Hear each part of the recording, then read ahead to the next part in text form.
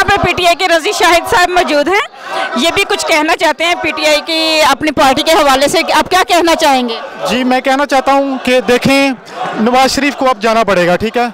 ये लोगों को अवेयरनेस आ चुकी है, ये सिर्फ़ पाकिस्तान में नहीं, पाकिस्तान से बाहर दुनिया में हर जगह। अब नवाज़ शरीफ जहाँ भी जाएगा, ये मूवमेंट वहाँ पे जाएगी, ठीक है?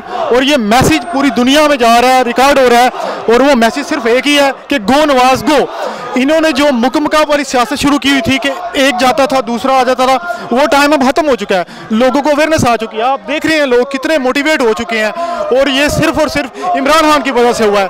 उसने एक शौर जो है ना, बेदार कर दिया लोगों के अंदर और अब ये मूवमेंट रुकने वाली नहीं, अब ये चलती रहेगी इन और देखेंगे हम, इंशाल्लाह कामयाब होकर रहेंगे। क्योंकि इमरान खान ने छोटे तबके को उठाया है यूथ को उठाया है सब लोग उजागर हो चुके हैं और अब टाइम आ चुके हैं अब इसको जाना पड़ेगा। और आराम से चले जाए तो ठीक है वरना इसको धक्के मार के निकालेंगे इंशाल्लाह हम। Okay thank you